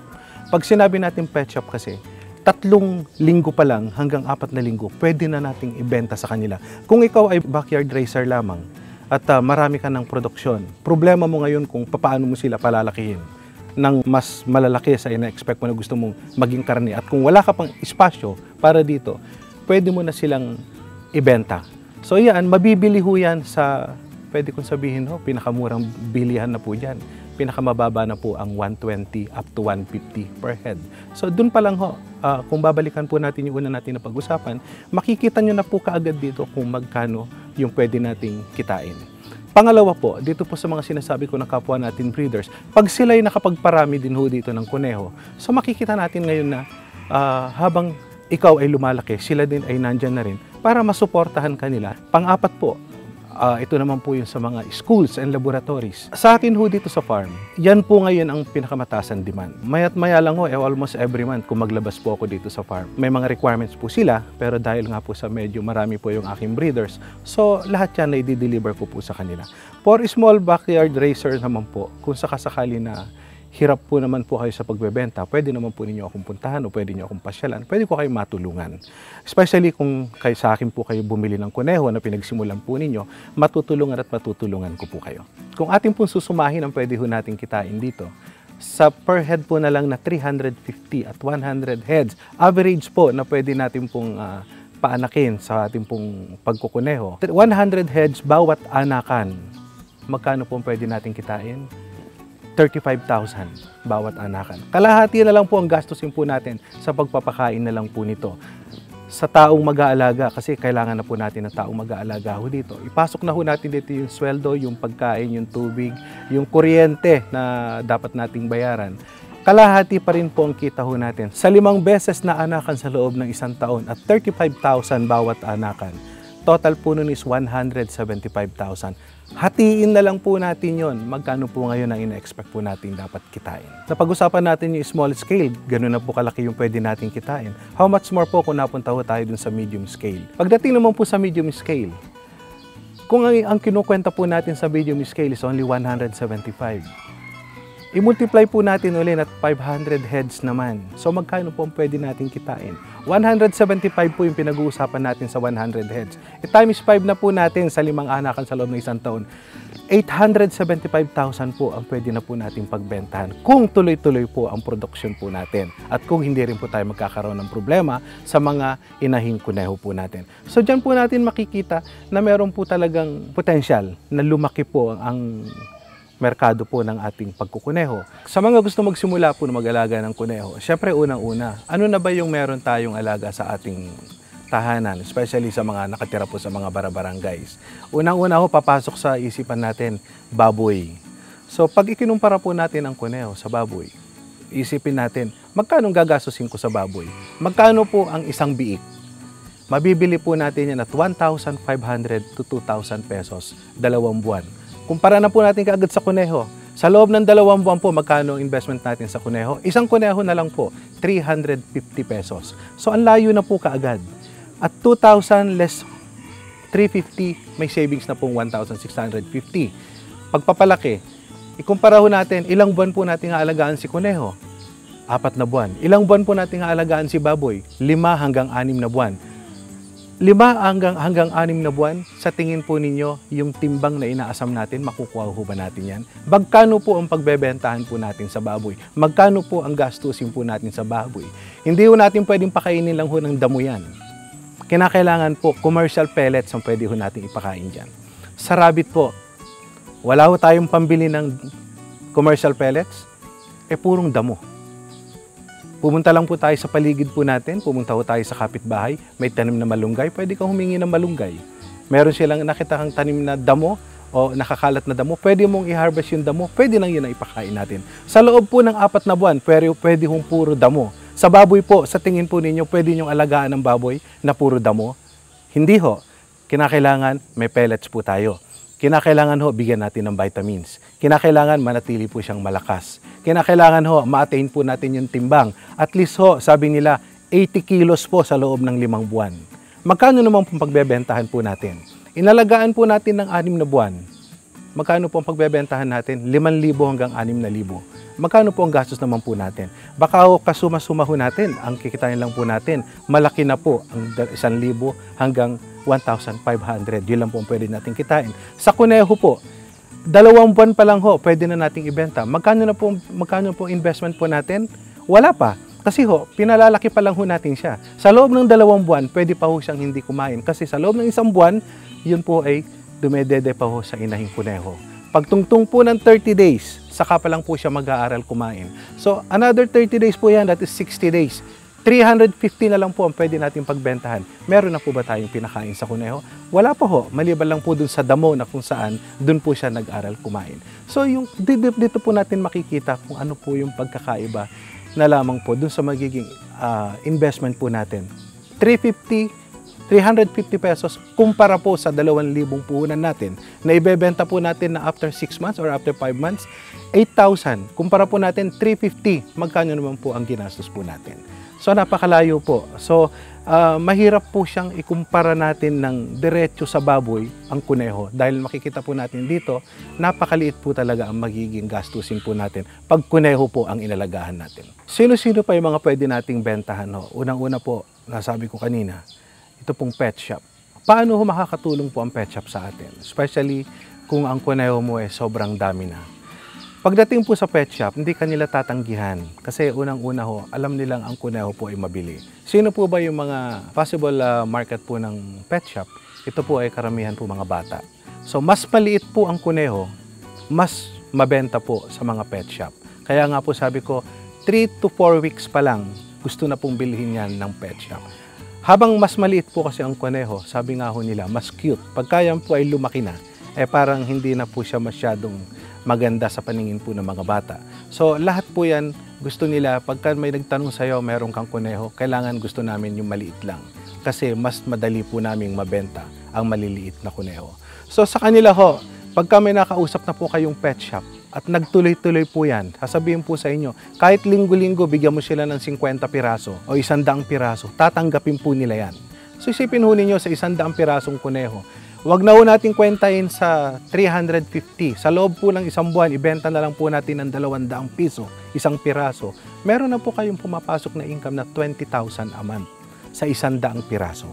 Ganun po kadaling kitain po yun. So, pag lumaki ho yan, hindi na po pet shop ang market po natin.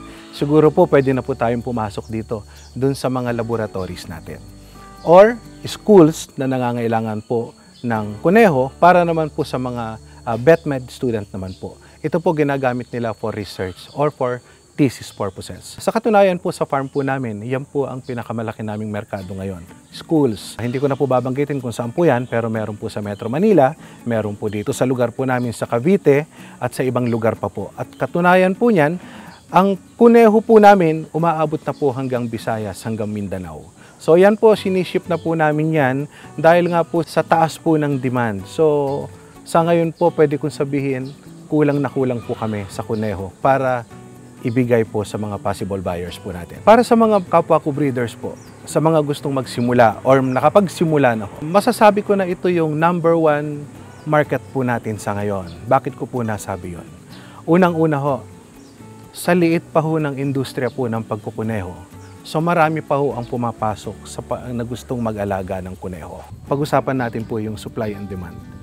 Pagka nandyan na po ang merkado natin at hindi natin kayang uh, i-sustain yung kuneho o yung rabbit meat na dapat nating i-supply sa kanila, baka ho bigla na lang po dumating ang pagkakataon, may importation na po tayo ng rabbit. So, malaking epekto po sa atin yon. So, imbis na lumaki ho tayo, baka ho mawala, mawala po tayo sa merkado. Pag sinimulan po natin ang pagkukuneho, dapat ho, alam natin na kaya nating i-sustain yan. Kinakailangan, marami po tayo mag, dapat maging produksyon. Kung titignan po natin ang ating merkado ngayon sa kuneho, wala pa ho tayo sa 1% kung ikukumpara ho natin sa manok. Ang manok po, kita naman po natin sa palengke, dagsa po ang manok. Pero still, kulang pa rin po ang supply. Pumunta naman po tayo sa kuneho. Sabi ko nga ho, wala pa nga 1% eh. Sino lang pa lang po yung target market natin dito? Tulad na nasabi ko, pag-usapan na po natin pagdating sa karne individuals pa lang po yung sinusupplyan namin, hindi na ho kami makapagbigay eh. So mahabang panahon pa ho. Huwag nating problemahin ngayon kung sino magiging merkado po natin. Sa sinasabi ko, 1% pa lang ang nag-aalaga ng kuneho. Isipin po natin, sino ba yung mga possible market natin? Karamihan po dahil hindi pa po bukas ang kaisipan o kamalayan po ng kapwa nating Pilipino ang pagkain po ng kuneho. Dumating man po yung pagkakataon na dumami po ang nag-aalaga at dumaas po ang demand para sa karni ng kuneho. Kahit maging isang libo na po ang uh, breeders po ng kuneho, dito na lang po sa Pilipinas, hindi pa rin po natin kayang supplyan yan at hindi po mauubos ang ating merkado isang kategorya pa lang po yung pinag-uusapan natin. Eh kung lahat po yan ay susuplayan natin, pwede kong sabihin ho, baka still hindi pa rin po makakaya ng ibigay. Pag kinumpara nga natin po sa manok, ilan po ang produksyon ng manok sa Pilipinas? Libu-libong manok po yan. Eh ang kuneho po natin, hundreds lang po ang pinag-uusapan natin. Kaya sa tingin ko, matagal pa ho yung panahon. May mga na-encounter kaming problema sa kuneho. Siyempre ho, sa pag-aalaga po ng kahit ano naman pong klaseng livestock, meron at meron pong lalabas na problema ho. Sa kuneho po, sa totoo lang po, wala pa ho kami nakikita talagang malalang sakit na pwedeng ikabahala ng bawat nagrarabit ho. Ang nakikita lang po namin dito, kung ikukumpara ho natin ito sa pag-aalaga po ng aso, ito po yung mains kung tawagin or yung katikati. Ito po yung galis aso. So yan pa lang po yung isang common problem po namin na madali naman pong gamutin. So ano po yung ginagamit po namin dito? Meron po tayo yung traditional at kung medyo sadam, medyo marami po ang ating kuneho, pwede na po tayong gumamit ng mga commercial uh, treatment o yung gamot na pwede natin mabili sa mga uh, poultry shop. Ano po yung sinasabi ko po na parang uh, still, parang organic uh, style pa rin po siya. May magagamit po tayo, ito po yung BCO or the Virgin Coconut Oil. So, i-apply lang po natin yan sa parte ng kuneho na affected po ng mains. Uh, i-apply po natin yan siguro sa loob ng isang linggo. Makikita po natin unti-unti po mawawala yan. Normally, ang unang apektado po dyan yung kanilang ilong. So, susunod po dyan yung kanilang tenga. Kung sa tingin po natin lumalala po yung kanyang sakit, yung kanyang mains, pwede po nating haluan po yan ng madre cacao. Alam niyo po yung, yung tanim po natin dyan sa paligid na Madre Cacao. Uh, yung Madre Cacao po, ito po ay mabisang panggamot din po sa mains. So, ang gagawin lang po nating proseso dito, didikdikin lang po natin yung dahon. Pipigaan po natin, iahalo po natin sa BCO or the Virgin Coconut Oil. Yun naman po ngayon ang i-apply po natin still sa tenga po or yung affected areas po. So yan po, isa po yan sa isa sa mga paraan upang mabawasan po yung sakit ng kuneho po natin. At uh, para po sa kaalaman ng lahat, ang galis po ng kuneho o yung mange po, hindi po yan nakakahawa sa tao. Hindi katulad po ng galis aso po. Pag ito po ay mayat maya, inahawakan ninyo, pwede po kayong maawa. Pero ang sinasabi ko lang po, ang mange po o sakit po ng kuneho, uh, ayaw ko pong sabihin na ito po ay totally hindi nakakaapekto sa tao. Ang gawin lang po natin, iwasan lang po natin na yung, yung body contact po dun sa possible uh, na sakit po ng kuneho. Ano naman po yung sinasabi kong gamot na pwede nating gamitin kung halimbawa gusto nating mabilisan po yung pagpapagaling po natin sa sakit po ng ating kuneho. Sa ngayon po ang ginagamit po namin sa aming uh, mga kuneho ay yung gamot na ivermectin. Kasi po ito po yung nakita namin o ito po yung sinubukan ko na alam kong mabilis makaalis po ng mains. So, meron po itong oral, meron po itong injectable. So, sa akin po, ang alam ko mas mabilis yung injectable. Ang proseso po nito, pwede ko po ipakita ho mamaya kung paano namin ina-administer. So, pagdating naman po dun sa oral naman, uh, halo lang po natin yan sa pagkain or ihalo po natin sa tubig. So, yan po, uh, pagka lahat po sila nakainom, uh, okay lang naman po yon. Pero mas gusto po namin na concentrated po sa bawat kuneho para ma-address ka agad-agad yung problema po ng kuneho. Mapapansin po ninyo, sa loob lang po ng dalawa, tatlong araw, unti-unti pong mawawala o maglalaho po yung mga katikati po ng kuneho. At ang kagandahan po nito, pagka binigyan po natin ng ivermectin, nakakaganda po ho yan sa balahibo po ng kuneho. Para bang lalong lumalago po ang kanilang balahibo. So, yan po yung mga possible na pwede nating ibigay sa ating kuneho kung nagkakaroon po sila ng sakit. Pangalawa ho, meron pa tayong may encounter na pwedeng maging sakit po ng kuneho. Ito po yung pagluluha ng kanilang mata. So, karaniwan po, yan po yung napapansin po ng mga uh, nakapwa ko nag-aalaga ng kuneho bakit daw nagmumuta yung kanilang mga kuneho. Sa akin po sa aming obserbasyon sa aming farm, ako wala po kung masabi na pwedeng gamot po dyan. Basta't ang alam ko ho, ang pinagsisimulan po niyan, siguro po yung kalinisan po ng ating rabbit tree. Kinakailangan po kasi laging panatilihin nating malinis, palagi ho nating linisan yung lugar po ng ating kuneho. Yung napaka-importante po dito yung preparasyon po, lalo na po kung mga breeders po natin, yung mga nakakulong. Bago natin sila pagbuntisin, kinakailangan po malinisang mabuti. Ito po ay iwas lang po dun sa pagmumuta ng mga kuneho. Yung mga bakterya na pwedeng pumasok sa mata ng kuneho o pwede ho nilang makain, malaking bagay din po yun. Sa ngayon po kasi wala kaming ibang makita na pwedeng sakit po ng kuneho. Maliban lang po dyan sa mains and yung sa pagmumuta o yung pagluluha ng kuneho. Marami na ho nagtatanong yan, pero sa ngayon, until now, wala pa rin po kaming uh, makitang pwedeng igamot dyan, kundi yung ivermectin pa lamang po. Hindi po ako veterinaryo para magsabi po na dun sa kaalaman ko po, eh, ano lang po yan, base lang po sa experience po namin. Kaya baka ho sabihin ng iba na uh, bakit si Mr. Minor nag, uh, may statement na ganito na wala namang uh, katunayan. Kaya nga sinasabi ko po lagi, base lang po ito kung ano po yung uh, standard practices po namin sa aming farm.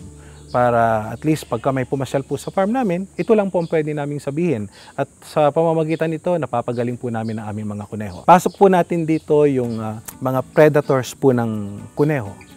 Ano po ba itong mga to? Sabi nga ho natin, ang kuneho dapat tahimik na lugar. So, ano po ba yung nakakapwedeng makagambala po sa ating mga kuneho? Ito po yung kahul ng mga aso. Ayaw na ayaw po nila yung maingay. Pangalawa po, pag pumasok po sa ating rabbit tree, kinakailangan po tahimik pa rin. Ano po ba ang naapektuhan dito pagka pumasok tayo sa ating rabbit tree at maingay po ang lahat? Nagkakagulo po sila. So, ang maririnig po natin sa ating mga kuneho, ito po yung stamping or yung pumapadyak po sila. Parang uh, sinasabi nila na may panganib na dumarating. So, kinakailangan po eliminate po natin yung ingay. At pangalawa ho, dapat po ilayo po natin sila sa mga hayop especially dogs o kahit ano pong uri ng hayop, lalo na po ang pusa. Ayaw po nila ng may nakikita po silang ganon, lalo na po sa mga nanganganak nating kuneho. Ano po bang nangyayari ho? Pagkalimbawa po may nakita sila na pwedeng maka, uh, manakit sa kanila, lalo po kung bagong panganak po yan, kinakain po nila ang kanilang mga anak. Kasi iniisip po nila, kalaban namin ito. So, ang iniisip po nila yung mga anak nila pwedeng kunin ng kung sino man, inuunahan na ho nila yan, sila na po unang kakain. So sayang po yung production po natin. Imbis na may kuneho tayo na pinalalaki, sila na po mismo yung kakain yan. Ito karaniwang problema po ng mga katulad ko. Ito po yung langgam. Sa paligid po niyan, makikita po ninyo, lalo na po sa mga bagong panganak na kuneho. Unang-una po yan, siyempre yung amoy ng dugo. Yung lansa ho nung, nung dugo o kung meron man pong namatay na kuneho, agad-agad po yung mga langgam nandyan yan. Aakyat po dun sa poste kung saan po nakalagay yung kuneho. Madadamay po lahat yung mga anak. Yun yun. So instead na yung patay lang po ang pupuntahan nila, pati po yung buhay pagka nakagat, mamamatay din po yon. So iwasan po natin, sabi ko nga po, uh, napaka-importante, laging malinis ang paligid ng ating rabitan. Biosecurity ho ang number one na ginagawa po namin sa aming rabbitry para at least po maiwasan po yung mga posibleng sakit o pwedeng ikamatay po ng aming mga kuneho. Meron pa rin po kaming na-encounter na ibang problema, pero ito naman po ay napakadalang. Ito po yung tinatawag naming malocclusion or yung back teeth. May solusyon naman po dyan. Ito po yung tinatawag namin na paglaki po ng dalawang ipin ng kuneho sa harapan. Ang kuneho po kasi tuloy-tuloy ang paglaki ng kanyang ipin sa kanyang unahan. Kung mapapansin po niyo yung kuneho, pag binuka niyo po yung bunganga, may dalawang ipin dyan na mahaba na yun po yung ginagamit nilang pangkain sa mga matitigas na bagay. Bakit po kinakailangan natin bigyan sila ng matitigas na bagay? Kaya nga po yung damo na medyo matitigas ng tangkay, binibigay po namin yan. At hindi lamang po yun, kung kinakailangan magbigay po kami ng ibang uri ng kahoy na pwede nilang kainin. Isa po, isa ho dito yung bao o yung yung shell po ng nyog. Nilalagay po namin sa loob yan kasi ninangat-ngat po nila yan. Nakakatulong po yun para hindi po humaba ng humaba yung ipin sa harapan. Ano po ba ang dahilan para bakit natin kinakailangan i-prevent yung paghaba po ng ipin sa kanilang harapan? Yun po kasi ay magkokos po ng pagpayat po ng kuneho. Pag sila po ay humaba ng humaba yung kanilang ipin sa kanilang gitnang harapan, mahihirapan po silang kumain. So ang nangyayari po sa amin, ang ginagawa na lang po namin dyan, pinalalaki na lang po namin ng konti, kinakatay na po namin. Yung iba naman po, syempre, tulad ko kung lalo nung una kong maka-encounter ng ganyan, naawa po ako. Ah, ginawa po namin, hintay na lang po namin siyang mamatay kaysa katayin. So, yun po yung una namin na ginagawa. Pero sa ngayon po, since nasabi namin, kumakain pa rin yan, sayang pa rin yung pagkain yan, kinakatay na lang po namin. Yung pong paghaba po ng ipin ng kuneho, pwede po nating i-prevent yan sa pagbibigay po ng uri ng kahoy na medyo matigas just to prevent yung paghaba po ng ipin. Kung mapapasyal po kayo sa aming farm, may makikita po kayong mga lugar ah, na meron kami mga kuneho na nakawala or pre-range kung tawagin. Alam niyo po ba na piling-pili lamang po yon? Hindi namin pwedeng pagsamahin si babae at si lalaki. May mga disadvantages po kasi yan. Pagka pinagsama-sama po namin si babae at si lalaki, hindi na po namin mamomonitor yung kanilang paglaki at pangalawa kung sino po ang pwedeng kumasta dun sa babaeng kuneho. Pagdating po niyan ng full grown po nila, halimbawa po sa loob lang ng limang buwan, ang lalaki po, super active na yan at the age of 4 months. So, pwede na po siyang kumasta ng babaeng kuneho. Pag yan po ang nangyari, maagang pagbubuntis ng isang kuneho at ang tendency po nito, pwedeng mamatay po lahat yung anak. Bakit to? Hindi pa siya marunong mag-alaga. Napaaga yung kanyang pagbubuntis, so hindi pa siya full grown, pwedeng makunan, pwedeng manganak po siya or i-abandon po niya yung kanyang mga anak. So yun po yung mga disadvantages po pagka pre-range po siya. Kung gusto po ninyo mag pre-range, makikita po niyo yan sa aming farm, gawin po ninyo puro lalaki or puro babae. Huwag po ninyong hahaluan. Mas maganda po kung puro lalaki, kung meron naman po kayong purpose, bakit kayo nag-aalaga ng lalaki? For meat ba siya? Okay, go. Puro lalaki. Kung ang gagawin, gagawin naman po natin, puro babae, pwede rin po, in preparation po para gawin natin po silang inahin. Huwag na huwag po natin gagawin yung magkakahalo po sila. Ang iniiwasan po natin dito, maagang pagbubuntis at monitor, still, babalik po tayo, monitoring or recording po bago po sila magbuntis. Ah, disadvantages po pagka naka-pre-range po tayo. Dito po pumapasok po yung mga abnormalities po. Pag halimbawa po na, nakastahan po nung isang lalaking kuneho, si inahing kuneho. Pag ito po ay kulang po tayo sa recording, ang unang mangyayari po dyan, hindi natin alam kung ito pala magkapatid or magpinsan. So ang nangyayari po dyan, pagka nanganak po dyan, karaniwan po namin naobserbahan, may mga lumalabas po kami kuneho na sobrang laki. Kung minsan ho, elongated po sila, so hindi po mabubuhay po yon. Kung naman po, kulang sa paa, nabubuhay pa rin po sila. Ito po yung sinasabi namin ng mga abnormalities na lumalabas. Tapos so, napakataas po ng mortality po natin. Dahil po siguro sa magkamag-anak or pwedeng magkapatid, magpinsan, ang nangyayari po sa mga anak po nila, karaniwan po hindi nabubuhay. So namamatay po sila. So sayang naman po yung panahon na inintay po natin. Inalagaan natin sa loob ng 30 days tapos mamamatayan lang po tayo. Sayang po yung panahon. Pumunta naman po tayo sa weather condition. Pwede ko pong sabihin siguro sa farm po namin, naaangkop po ang pag-aalaga ng kuneho. Medyo malamig po ang lugar namin. So napansin ko po sa kuneho, mas hiyang po sila sa malalamig na lugar. So pagdating po ng tag-ulan, sa amin po hindi po disadvantage yun. Mas gusto po ng kuneho ang medyo malamig. Pagdating po ng tagaraw, sa lugar po namin, hindi pa rin po ganun kainit. Tama lang po yung init, tama lang po yung lamig. Kung malamig na malamig, wala pong problema. Hindi po namin nararamdaman yung sobrang init. Okay, dito po sa farm po namin yon. Sa ibang lugar po, tulad po halimbawa sa Metro Manila o sa ibang lugar, yan po yung karaniwang problema po nila. Yung sobrang init. Nandyan na po yung heat stroke or inaatake po yung mga rabbit. Bakit po sila inaatake? Sobrang init, nagkakataon po siguro, sobrang healthy po nung kuneho. Sobrang taba po nila, naapektuhan po yung kanilang katawan. So yung, isipin po ninyo yung isang kuneho, balot na balot po ng balahibo. Tapos po eh, ilalagay mo sa mainit na lugar. Tapos nakalimutan natin bigyan ng tubig o nakalimutan natin bigyan ng pagkain. Yun po yung mga reasons po kung bakit po sila namamatay. Pagdating naman po sa malamig na lugar, kahit saan naman pong parte ng Pilipinas po, eh, may mainit, may malamig. So pagka ho ganun na sa tingin natin sobrang init, hanapan at gawa na po natin ng paraan. Ilagay po natin sila sa malilim na lugar, Hindi naman po kinakailangan ilagay sa loob ng bahay po yan. Sa ilalim lamang po ng puno, okay na po yan. Mabubuhay na po sila. Makikita nyo po sa loob ng aming rabbitry, may mga setup po kami dyan nasa ilalim ng puno. Meron po yung nakalagay po sa housing, but still open pa rin po siya kasi gusto po namin yung ventilation po niyan dapat tuloy-tuloy ang hangin. Napaka-importante po ng hangin sa ating pagkukuneho. Experience pa rin po namin sa farm namin, hindi ko alam kung na-experience po ninyo to. Pagka sobra hong lamig, sa mga kuneho po natin, nakasalukuyan pong nagpapagatas or nagpapa uh, dede po sa mga maliliit na kuneho. Ang nangyayari po dyan, pag sobrang lamig, nagkakaroon po ng breast milk freezing. Ang ibig ko pong sabihin, naninigas po ang kanilang mga dede. Kung mapapansin po ninyo, pag ito po kinapa ninyo, matigas po sila. So ang ginagawa po namin dyan, pinagtsatsagaan po namin, hinahat compress po namin. So gumagamit po kami ng bulsa de yelo or pwede kayong maglapit po ng parang baga sa tabi po ninyo, kumuha kayo po ng malinis na basahan, ilapit po ninyo dun sa mainit na dun sa baga, iyon po yung idampi po ninyo dun sa party po ng dede po nila. Mapapansin po ninyo yan, sa loob ng isang araw lang na hindi po pagpapagatas yan, mapapansin nyo namimintog po yung mga gatas, mga dede po yan. Dahil nga po sa ayaw po nilang magpagatas dahil po sa masakit. Yun po yon. So ano po mangyayari? Mamamatay po yung mga kuneho po ninyo.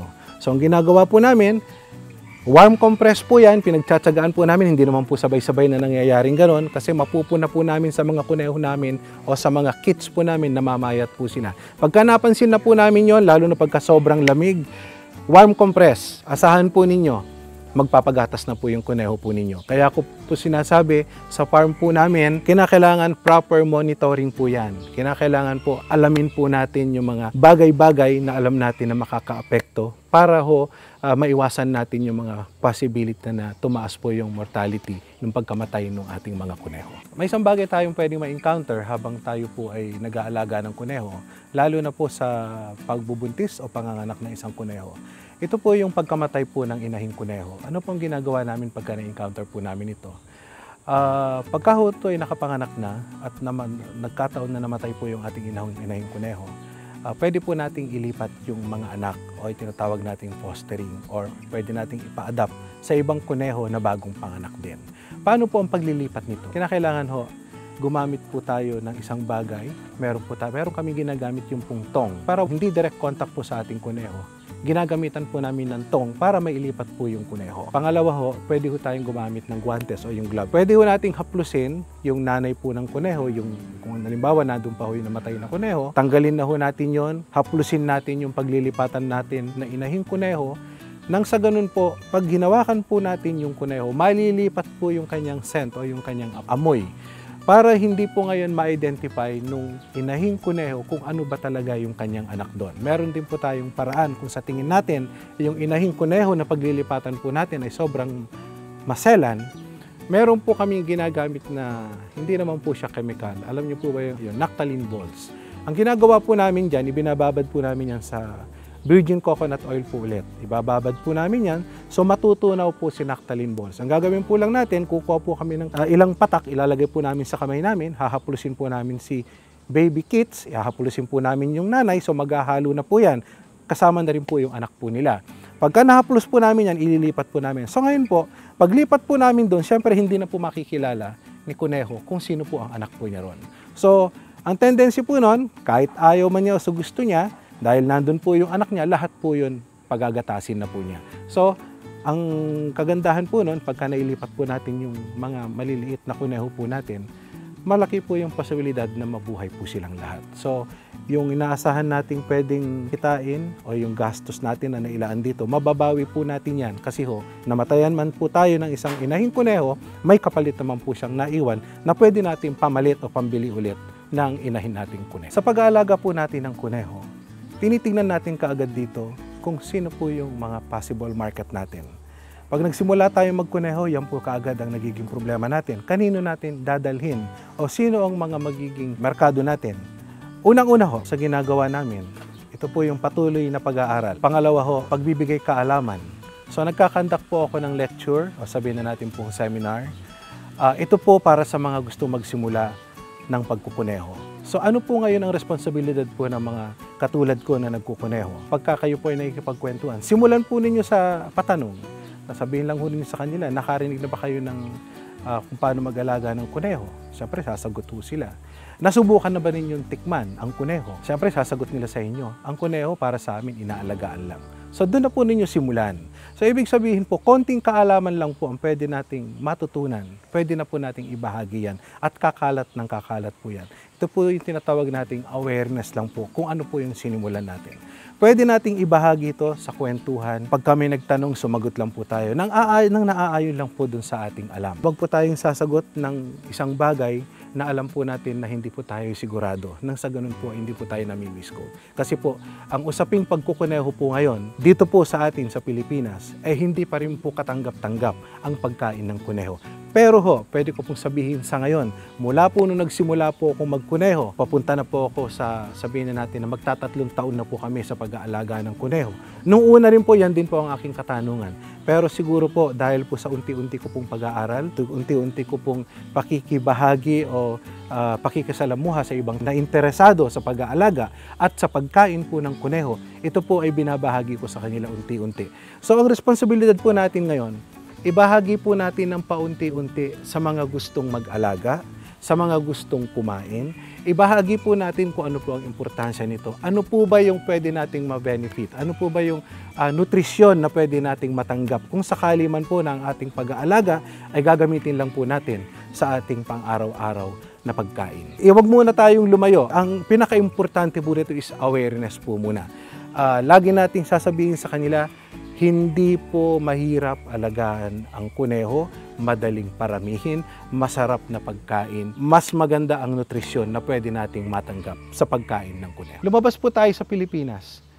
Kung makikita po ninyo pag kayo pumasok po sa sa internet o sa social media, makikita po ninyo especially sa western countries, European countries po or Asian countries po. Imbes na manok po ang makikita niyo sa supermarket, kuneho na po ang makikita po ninyo. At ang kagandahan po nito, pwede na po choice cut. Kung gusto po ninyo ng leg part, leg part, thigh part, thigh part. Dito po sa Pilipinas po ngayon, wala tayong mabibiling thigh part, wala tayong mabibiling ah, leg part. Buuan kung bumili tayo. Kasi wala pa ho tayong possible market nga na pwedeng kumuha po niyan o bumili po niyan. So pagka binenta po natin yan, buuan. So ngayon po dito po sa Pilipinas, ako ho, sa experience ko po ngayon, nakakarating na po ang kuneho ko all the way from Mindanao hanggang Visayas. Ito po ang pinag-usapan natin, hindi pa po merkado ng para sa karne. Breeders pa rin po. Bumabalik pa rin po ako dun sa mga breeders na katulad. Ang pagpapakalat po ng pag-aalaga ng kuneho, napakabilis po niyan. Kasi nababasa po nila yan, napapanood po nila yan. So, sila po nagkakaroon po sila ng interest. So, habang nagsisimula po sila, siya siyempre ho yan na pag-uusapan nila sa lugar nila. Yung mga tumatawag sa akin, Sir, sino ba ang pwedeng possible market namin? Huwag na kayong lumayo, pamilya muna ninyo, mga kaibigan ninyo. Individual buyers, hindi nyo kamag-anak na may interest na bumili ng karni ng rabbit. So yan, word of mouth lang ho yan. Pwede na nilang simulan yan hanggang sa lumaki ng lumaki. Ang sinasabi ko sa kanila, yung pagpapalaki, hindi mahirap gawin as long na nandun yung ah, tamang pamamaraan kung paano natin pararamihin at nakikita natin yung possible market na pwedeng bumili ng alaga nating kuneho. Meron na po akong ibang ilang pamilya na nahikayat para magsimula mag-alaga ng kuneho. Alam niyo po, ikukwento ko lamang po sa inyo.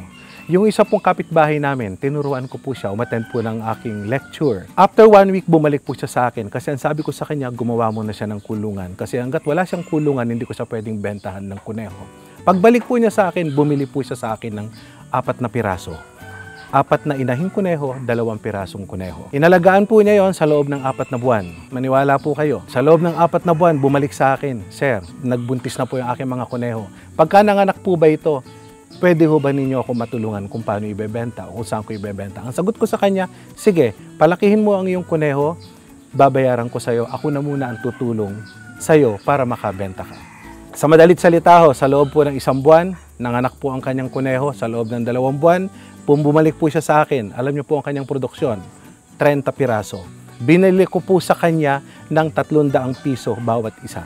So magkano na po ang kinita po niya sa akin? Yung 30 piraso, binayaran ko po siya ng 9,000. So sabi niya sa akin, tama ba itong nakikita ko sa aking harapan ngayon, sir? Yung inahatag mong bayad, ah, bayad sa akin. Oho, sa 300 pesos po per head ang bayad ko po sa inyo.